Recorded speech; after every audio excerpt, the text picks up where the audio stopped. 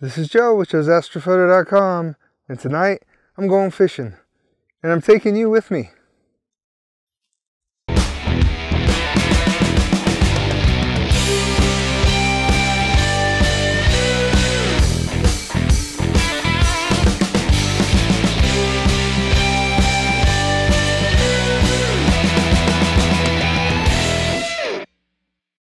The Dolphin Head Nebula otherwise known as SH2-308 in the Sharpless catalog, lies around 5,000 light years away from the Earth. Uh, it's located in the Canis Major constellation, and there's um, a very bright star that's like pre-supernovaine. Is that a word? Supernovaine? Anyway, it's it's in the pre-stages uh, of a supernova, and all that radiation is pushing the gases out and forming a cosmic bubble. And it gets its name because it resembles the head of a dolphin. Um, the majority of what looks to be like oxygen 3 data with a little bit of hydrogen alpha. So what I'm going to do, or attempt to do, is um, shoot this in an HOO palette. Uh, the hydrogen alpha and oxygen 3 is the green and the blue. Uh, I've seen some other pictures and I think that looks the best. Actually, I've never seen pictures of it any other way, to be completely honest, but it's my turn to take the same type of picture, I suppose. I'm going to be using my new 294mm Pro camera and my trusty Zenithstar Z81 telescope. Um, and I've got some new filters. I The ZWO filters that I had been using um, have been just awful for narrowband imaging. Um, no offense, ZWO, I love your stuff. I love your cameras. I, have got your guide camera. You, your stuff's fantastic. Um, your filter wheel, your focuser. But uh, for filters, I decided to go with an Astrodon uh, 3 nanometer oxygen filter and an Astrodon 5 nanometer uh, hydrogen alpha filter. I wanted to get the sulfur, but right now can't afford it. So what I'm thinking about trying to do is um, getting the Antlia 3 nanometer um, sulfur 2 and just test it because they're cheap and, or I don't say cheap, they're inexpensive in comparison. And I've been hearing some great things about them and I wanted to test them out. So I think I'm going to go that route for the sulfur just to see and uh, then if I don't like it, I guess I'll be biting the bullet for the uh, that third Astrodon.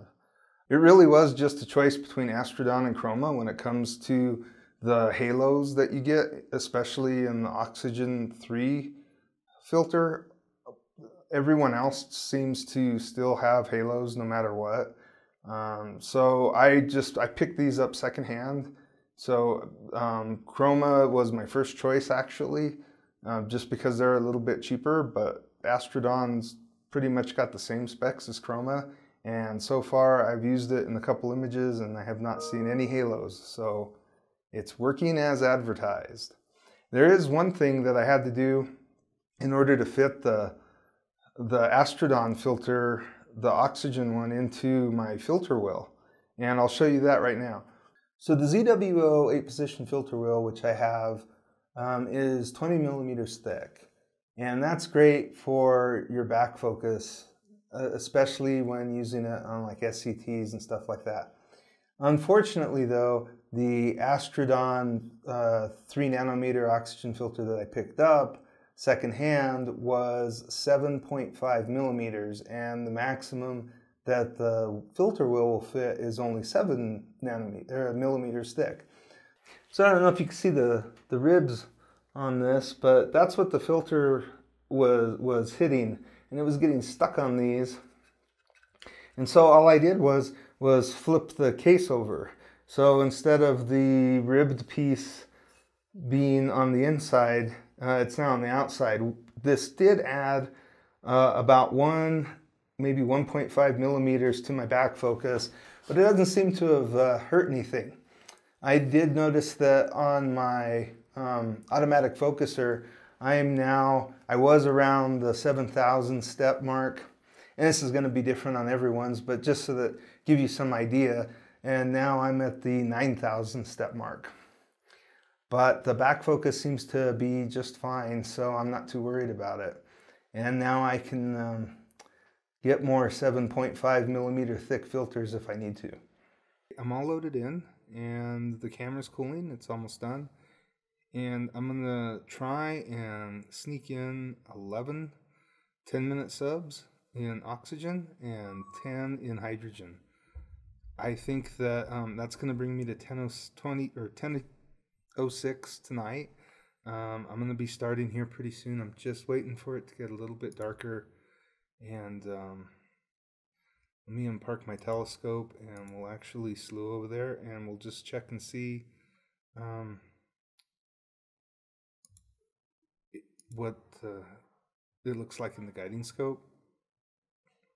Ooh, yeah, still too bright out. Um, my settings, the way I have them right here, are set for when it's dark, that this comes out real good. So it's still too light. Um, I'm going to have to wait a few minutes, but yeah, this is where we're at. I am going to um, start guiding, slew to target, center on target, and I'm going to um, focus on start and on my filter change. It's the rain's supposed to come in later tonight, so I'm gonna have to uh, cover up everything as soon as this is done. Uh, I'll put the lid on the observatory.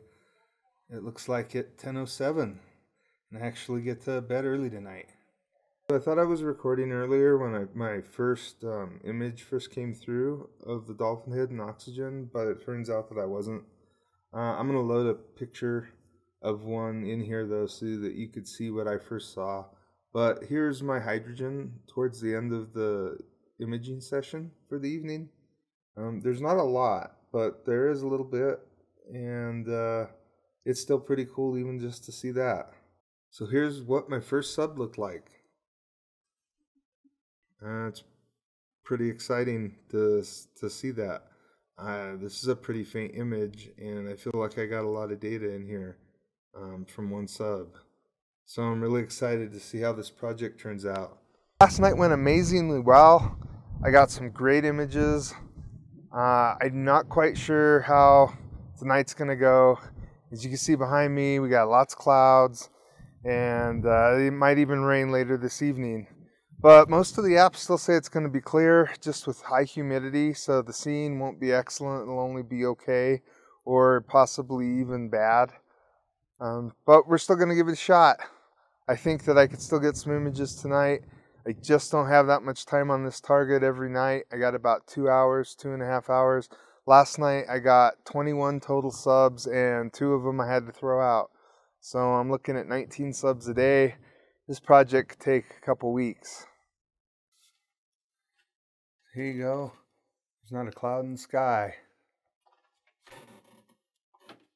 The Dolphin Head Nebula will come up right about here, and it won't get a whole lot higher than that.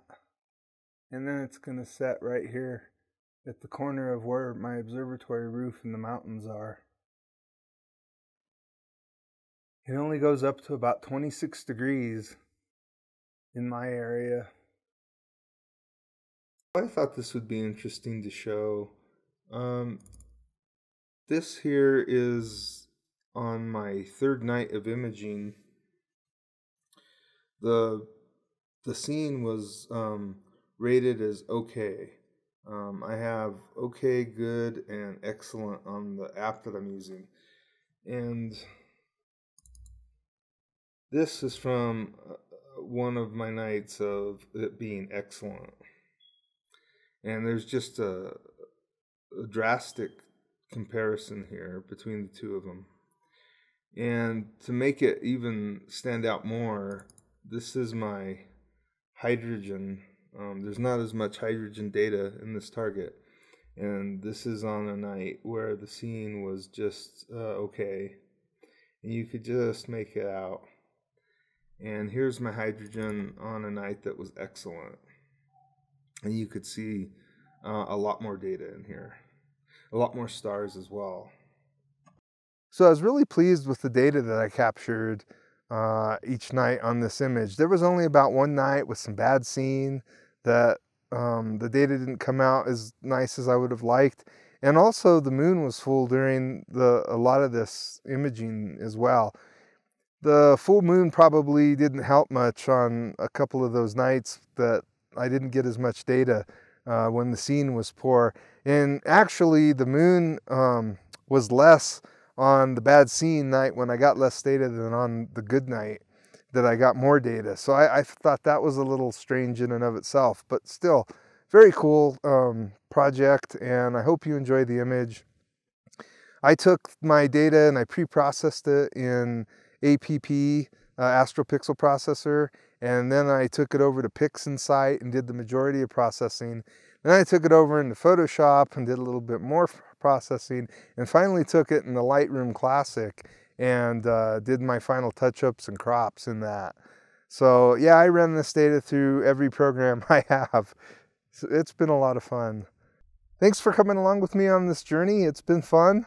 I hope you enjoy the, the final image at the end of the video. And as usual, if you like this content, please give me a like, thumbs up.